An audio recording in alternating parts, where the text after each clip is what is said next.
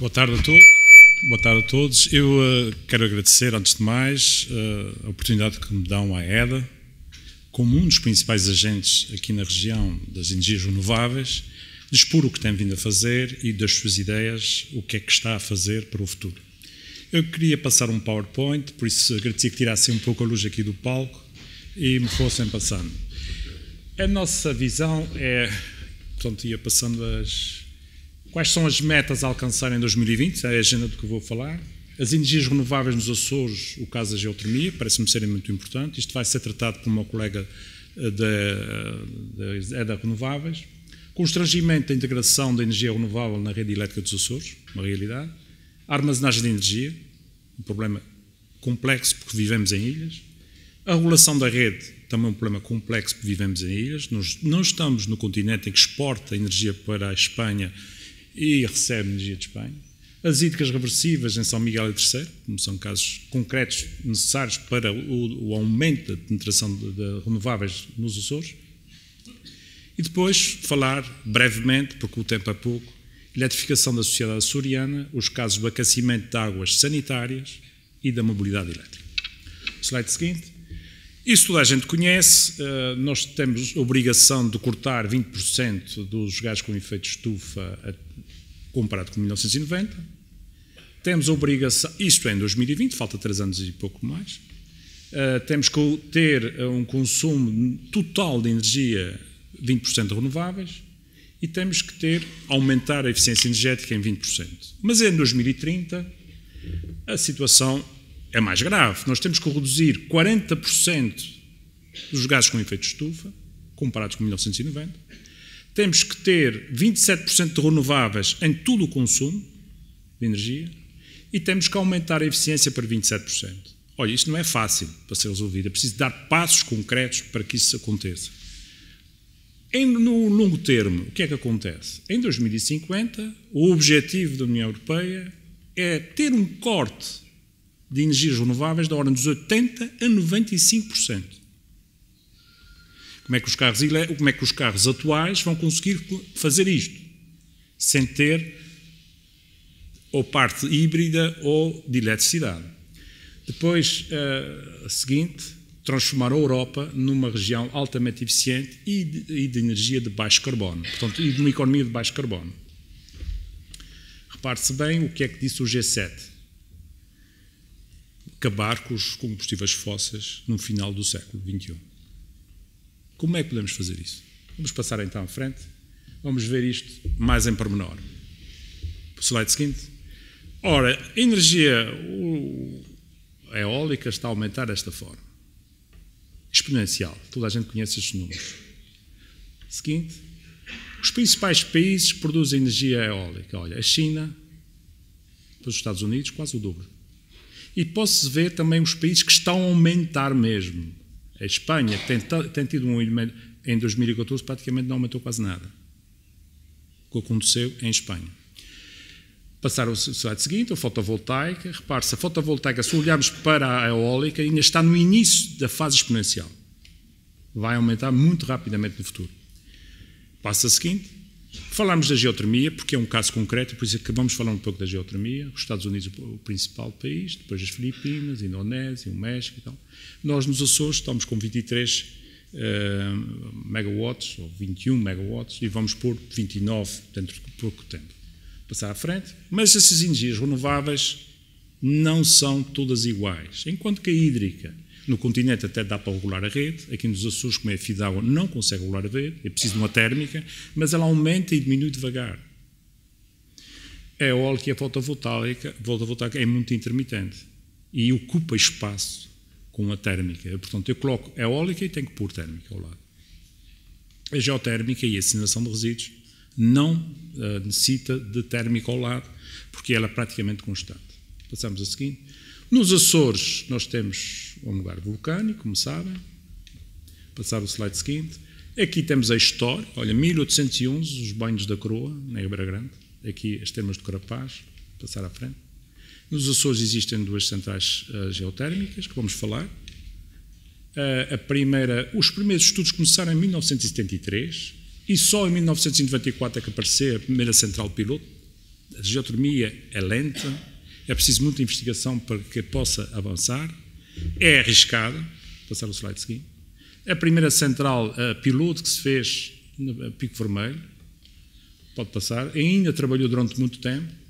Aqui, a central geotérmica da Ribeira Grande, começou em 94 a fase A. Na fase B, quando estive na Secretaria da Economia, ela estava falida, a Sojet. Passou-se para a fase B e que foi com a fase B que a Sojet se tornou a empresa mais rica dentro do Grupo ERA. Passar à frente. São Miguel, como está bem enquadrado, é pico vermelho, com 10 megawatts, não está a dar 10 megawatts porque ela tem capacidade para dar 11,5, está a dar 11,5, está no máximo. O enquadramento paisagístico, passamos à frente, central de pico vermelho, mais à frente, pico vermelho.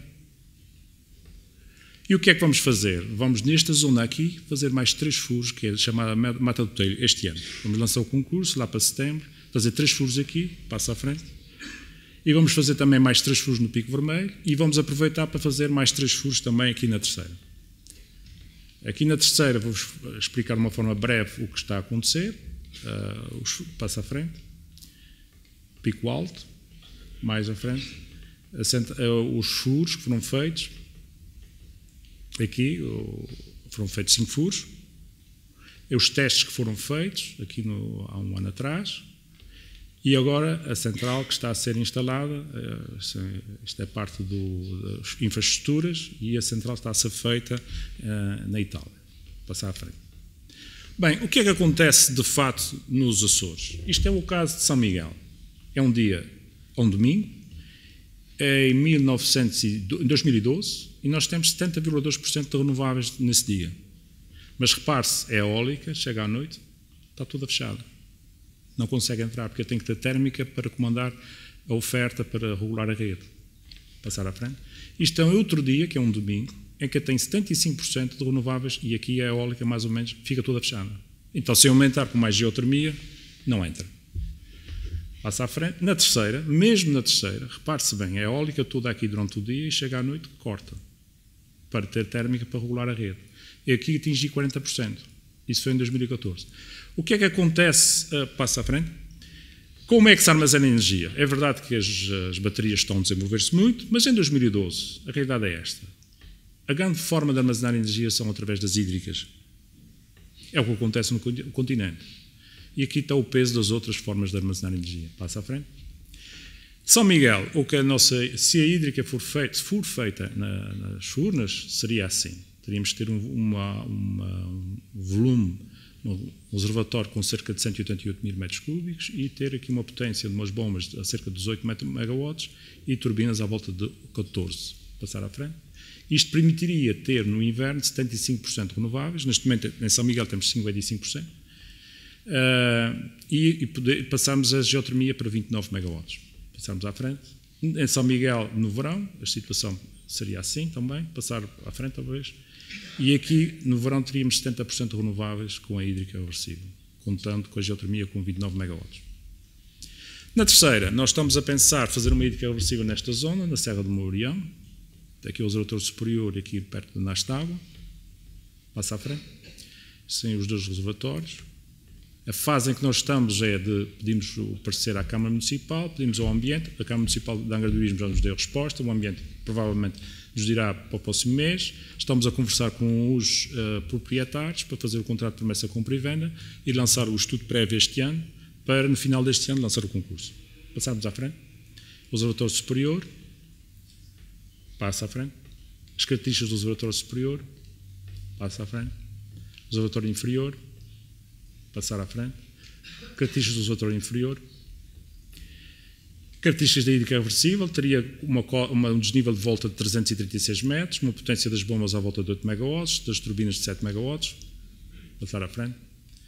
Na terceira, num dia útil de inverno, seria assim, teríamos esta situação. Portanto, repara, o observatório Sob necessitaria de cerca de 42 mil metros cúbicos, passamos à frente.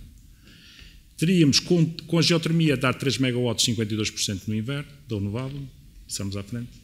Se tivéssemos 7 megawatts, passaríamos a 68%. Se tivéssemos 10 megawatts, passaríamos a ter 76% renovável na terceira. Estamos à frente. No verão, o reservatório seria também próximo dos 42 mil metros cúbicos, passaríamos à frente. Uh, também com 3 megawatts teríamos no verão, que há menos eólica, 34% renovável. Se tivéssemos 7, 50%. Se tivéssemos 10, 61%. Depende do sucesso dos furos novos que estamos a fazer, vamos fazer no próximo ano. Nas flores, o que é que está a acontecer? Nós temos uma hídrica, vamos fazer este ano lançar uma nova hídrica e, em dois, quando ela estiver pronta, vamos ficar com 80 e tais por cento de renovável. Como eletrificar a sociedade açoriana? Primeiro desafio que nós temos. Para atingirmos as metas da União Europeia previstas para 2030, precisamos de quê? Aumentar a eficiência energética, isso é, isso é comum a todos, aumentar a penetração de renováveis na rede elétrica, continuar a aumentar, portanto, nós em 2020 vamos ter certamente mais de 50% de renováveis na, na, rede elétrica, uh, por causa de São Miguel e Terceira, e Flores, e Graciosa também, mas substituir o consumo de combustíveis fósseis por eletricidade, nomeadamente no aquecimento das águas sanitárias e no transporte terrestre. São as duas áreas que facilmente podemos fazer. Passamos à frente. Aquecimento de águas sanitárias. Ao contrário do continente, a região autónoma dos Açores importa uh, butano, portanto não, traz, não tem gás natural. Aqui é mais caro o butano. E o governo regional paga uh, o transporte interior para ter o butano ao mesmo preço em todas as ilhas.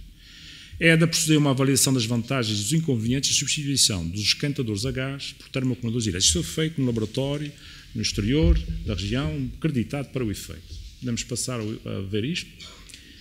For, foi feito esse estudo, passa à frente, e o que é que se estudou? A eficiência energética, o custo por utilização anual e o grau de satisfação ambiental. Nós colocamos 26 uh, termoacumuladores elétricos na casa das pessoas, as pessoas tinham esquentadores a gás, e depois, passado três meses, vamos verificar o grau de satisfação. Vamos ver o que é que aconteceu. A eficiência. Os esquentadores a gás, portanto, é, os termoacumuladores elétricos são 40% mais eficientes que os esquentadores a gás. É o que se gasta para fazer 3 duches de 10 minutos em uh, termoacumuladores, este de 50 litros, este de 80 e este de 100 litros, e os, e os esquentadores gastam 12,1 kWh. Portanto, são muito mais eficientes os termoacumuladores elétricos. Passamos à frente. Em termos de custo, se 50%, se puser o meu termoacumulador a trabalhar entre as 10 horas da noite e as uh, eh, 8 da manhã, ele apanha a tarifa do vazio, 50% só a trabalhar aí, porque da manhã às 8 horas da manhã que eu vou tomar banho, está água quente, eu tenho um custo muito menor 50% do aquecimento das águas durante o vazio resulta numa redução de custos anuais em 20%. Passando ao grau de satisfação.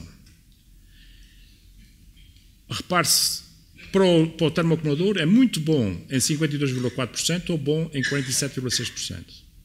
Enquanto que o esquentador nunca atinge o muito bom e aparece aqui com mau e muito mau. Repare-se, continua-se. Foi suscitado aos 26 inquiritos, numa escala 1 a 5, e o que é que se verificou? Passa, continua a passar. O score médio da avaliação do elétrico é de 4.52, é um assim, e o score médio da avaliação do escatador a gás foi 3.14. Nós estamos a fazer uma campanha, passar o gráfico a seguir, e uh, nesta campanha, se passar a seguir, ah, primeiro queria dizer que os termoacumuladores elétricos já podem ser colocados exatamente no, como um esquentador. Tem a forma de paralelepípedas, uh, pode ser colocado, substituir um esquentador e colocar um, um elétrico. Nós estamos a fazer uma campanha, porque cada mil termoacumuladores elétricos instalados, estima-se um aumento da procura em cerca de 3,5 gigawatts-hora. Se toda a gente, os 100 mil, eu teria mais 40% da produção. Esta procura pode e deve ser feita sobretudo nas horas de vazio, que era importante. Muito importante. As pessoas falam muito dos carros elétricos, mas eh, o aquecimento das águas sanitárias é muito importante. Passa à frente. Se todos os clientes domésticos substituíssem os esquentadores a gás por termoacumuladores elétricos, o consumo de energia elétrica seria de 40%. E eu praticamente não precisaria de investir nas minhas hídricas reversíveis. Passaria à frente. Uh, Repare-se bem a campanha que nós estamos a fazer, nós oferecemos 100 euros para a montagem de um termoacumulador elétrico. Já temos 200 pessoas que já instalaram. Passamos à frente. Mobilidade elétrica. As viaturas elétricas atualmente já conseguem autonomias superiores a 200 km. Eu não vou falar muito sobre isso, porque aqui há quem sabe muito mais disso do que eu.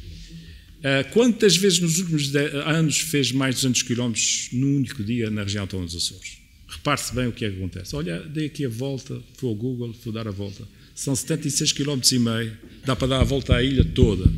Repare-se, uh, já vou terminar. Uh, e para a frente. Portanto, raramente é, é, preciso mais do que isto. Passar à frente. Ao nível de consumo de energia elétrica, um veículo utilitário, como por exemplo o Renault Zoe, consome eu não vou fazer propaganda, mas é este 14 kW por 100 km, traduzindo-se em 1,40 euros por 100 km. Um Renault Clio, a gasolina, consome isto. Portanto, gasta muito mais. Passa à frente. A EDA tem neste momento 10 viaturas elétricas. Pode passar à frente. Estes são os carros que estamos a usar, como podem ver. Nós estamos a trabalhar com o Governo Regional para fazer uma rede uh, de, de, postos de rápidos de carregamento em todas as ilhas e em vários conselhos, nos todos os conselhos das ilhas. A necessidade da indústria do automóvel de reduzir ainda mais as emissões de gases com efeito de estufa, isso é que vai ditar o futuro.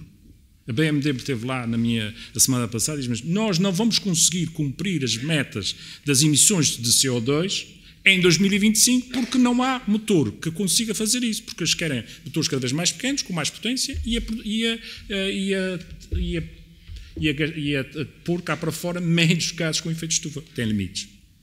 E isso é que vai ser o, o trend, a, a, força diretora deste processo. Passo para a frente.